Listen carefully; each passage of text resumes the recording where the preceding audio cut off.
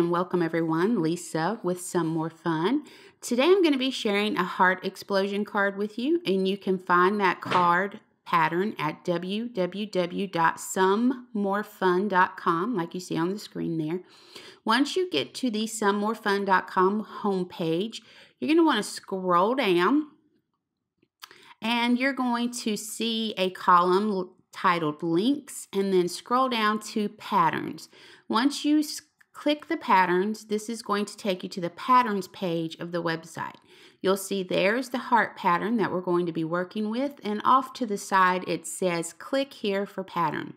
So go ahead and click that and you're going to have a PDF file that opens up. You have a couple of options with this. You can print by using the print button in the right hand corner, or you can download this to your computer by hitting the arrow pointing down.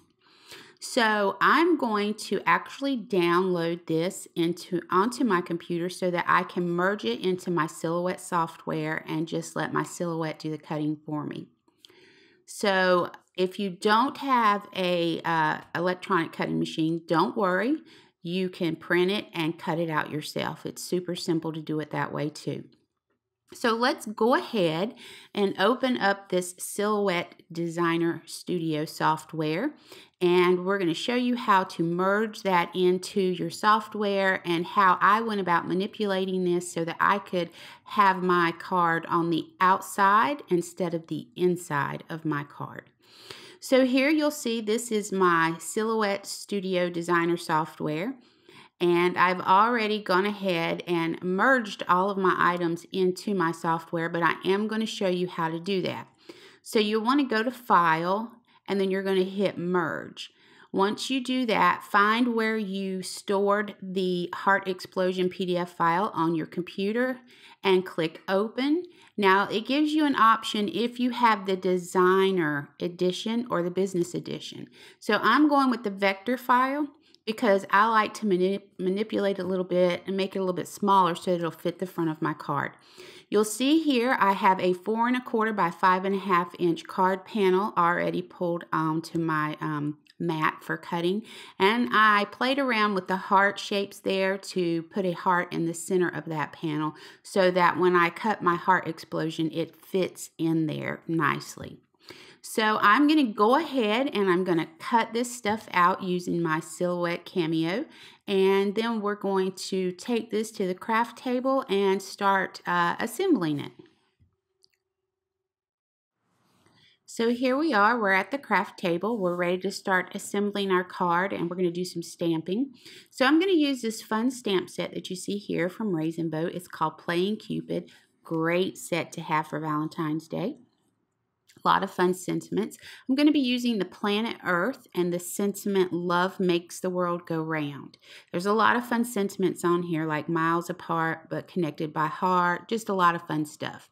So here you're going to see I already have my heart explosion pattern cut out and I use craft cardstock for that. I have it laid out on a stamp positioning tool because when I stamp, I like to stamp my image more than one time, and so the stamp positioning tool makes easy uh, work of that. So I'm just going to randomly stamp this. And the great thing about randomly stamping on a pattern like this is you don't have to be too careful with, oh no, I stamped the wrong way. You can just go willy-nilly with your stamping and it'll be it'll work out just fine. So you're just going to see me fast forward through the stamping of this um, planet Earth with the hearts around it all over that. And then we're going to add some little hearts also from this stamp set onto there to fill in some of the um, empty spaces. Now I am using some red ink, real red from Stampin' Up. So if you're curious as to what color that may be, that's what that is. Also, though, you can use any red ink that you have. It does not have to be Stampin' Up ink. In fact, you, um, I also have some Ladybug Red from Memento that works great too.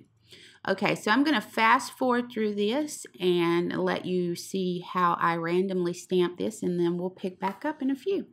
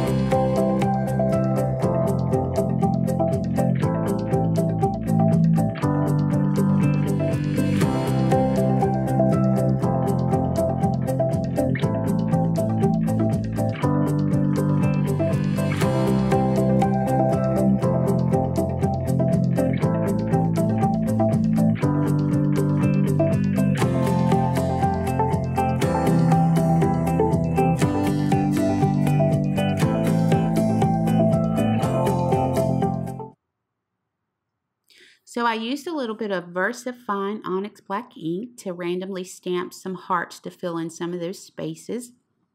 And now I'm going to use my anti-static bag and lay down a little bit of anti-static powder so we can do some heat embossing. I decided that I wanted to do one of the images in gold embossing powder so it would stand out a little bit more. So I'm going to stamp that twice using my stamp positioning tool and then I'm going to lay down some gold embossing powder and I'm going to make sure that I don't have any stray flecks anywhere. Take my paintbrush, clean it up wherever I need to, and then I'm going to use my heat gun to heat set this. And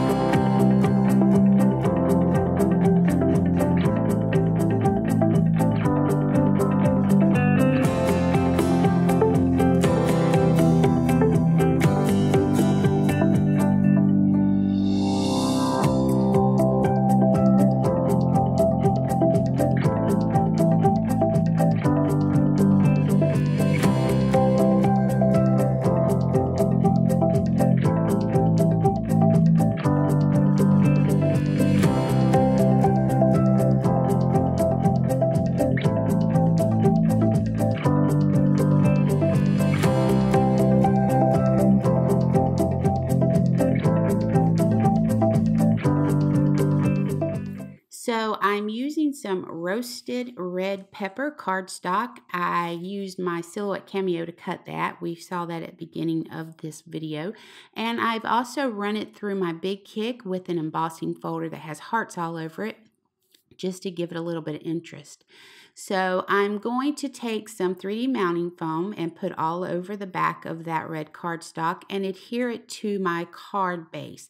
And my card base is 110 pound Neenah cardstock, four and a quarter by five and a half inch top fold. I've added some heavy adhesive to the back side of our folded heart explosion pattern so that I can adhere it to the front of our card base. I'm also going to use that to hold my red and white twine in place.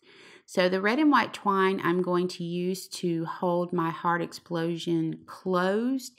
Now you could put all kinds of fun little things inside the heart explosion. You can put confetti, you could put sequins, candy, money. There's just so many things. You could put a tiny little message inside of there. It's completely up to you what you want to put inside of there. These would be great for your kids' Valentine's um, at school, and you could get some temporary little tattoos to put down in there, just whatever you wanted to. Fun little things. The little heart, they have some really cute um, Valentine erasers and stuff like that that you can pick up at the dollar store or the big box stores, wherever, and those would fit in there nicely.